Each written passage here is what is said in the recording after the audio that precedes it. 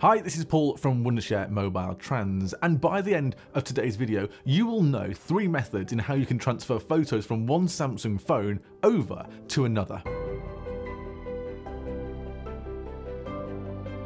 Okay then, let's talk about method one of three, and that is to use Mobile Trans, the software, and there's a lot of different things that Mobile Trans can help you do, and one of those things is moving your photos from one Samsung phone over to another with just a simple click. So let me tell you how you can do it. For transferring from a Samsung to a Samsung, it actually helps you with 11 different types of important data, so things like messages, photos, videos, contacts, notes, etc. But it is not just that phone that the Mobile Trans software actually supports. The Mobile Trans software itself supports over 8,000 different models, including every new and old Samsung Galaxy device. So, to learn how to transfer your data from one Samsung phone over to the other with one simple click, then keep watching for these next steps. Step one is to open that Mobile Trans software first of all, and then click on that phone transfer option.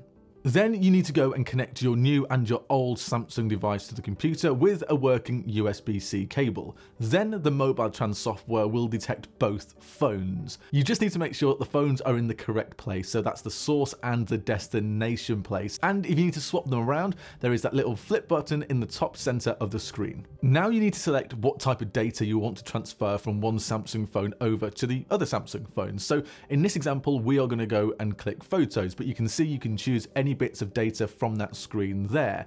Once you've then selected the bits of data you want to transfer over from your one phone over to the other, you just then need to go ahead and click start. Once you've then clicked start, just give it a couple of minutes and that mobile trans software will do the rest. And then after a few minutes, all those photos will have been transferred from one Samsung phone over to the other. Method two is to use an app called Smart Switch. And this was created by Samsung to help you move data from one Samsung phone or an Android phone over to a brand new Samsung phone. Depending on your source device, it actually means you can transfer different data from one phone over to the Samsung. But if you're swapping over from a Samsung phone to a Samsung phone, you can pretty much switch everything over. So your messages, your audios, your photos, your videos, and sometimes you can even take that app data over as well. But since it actually supports all types of video formats, it makes it a really easy way to swap your photos from one Samsung phone over to another Samsung phone. And the good thing about using this app is you don't actually need to use any wires. It is completely wireless, so you don't need a computer. So let me tell you how you can go and use this app.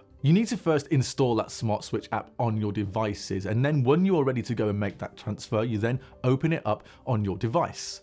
You then get to select the method of wireless or USB transfer. This is where you want to go and click wireless. Once both devices are connected as well, you need to go and select the source device, which in this case is an Android, so you need to select Android.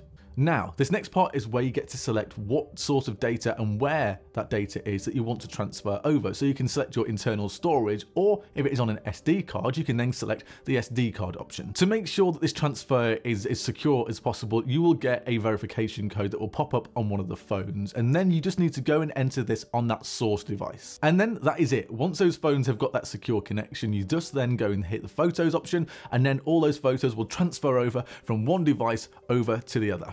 So with method 3, that is to go and use Bluetooth or Wi-Fi. If your device only has a couple of photos that you want to go and transfer over, sometimes using Wi-Fi or Bluetooth could be the easiest option. Bluetooth and Wi-Fi are obviously built into Samsung phones, and sometimes just using Bluetooth or Wi-Fi is actually the best option. And of course, using Wi-Fi will be a little bit quicker, but Bluetooth is pretty much exactly the same. If you have a lot of photos that you want to transfer over though, then maybe this is not the best option for you because even though it can be quick with a couple of photos, if you have a lot of photos, then this will be really time consuming. But if you only have a few photos, let me tell you how you can do it. Firstly, you need to unlock your phone and then go into your settings and go and find your Bluetooth settings and make sure that Bluetooth is turned on.